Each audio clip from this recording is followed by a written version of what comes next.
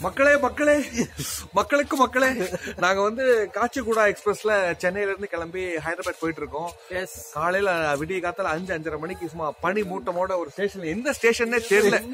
சும்மா அப்படியே ட்ரெயின் அப்படியே அந்த சைடு பாருங்களேன் கம்பார்ட்மெண்ட்ல அப்படியே மறைஞ்சிடுச்சு என்ஜின் எங்கன்னே தெரியல. அவ்வளவு பனி.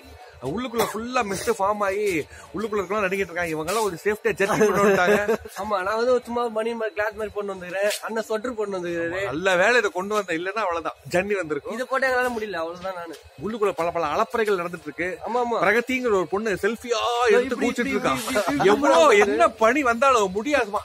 அது கழட்டி போட்டு அப்படின்னு செல்ஃபி எடுத்துட்டு நல்லா இருக்கு. என்னன்னா இந்த இந்த முருகனார் வந்திருக்காரு. வாங்க. முருகனார் வாங்க. வந்திருக்காரு ஒருத்தர் கருப்பு கலர்ல குள்ளா போட்டு முகத்தை மறைச்சிட்டு இருக்காரு வாங்க பிரதர் பேசுங்க. என்ன பேசுற? முடியல முடியல. புகை தானே வருது. எப்படி இருக்கு மிஸ்டர் கிளைமேட் இருக்கு. So we are enjoying this uh, journey to uh, Hyderabad, uh, 2019 January.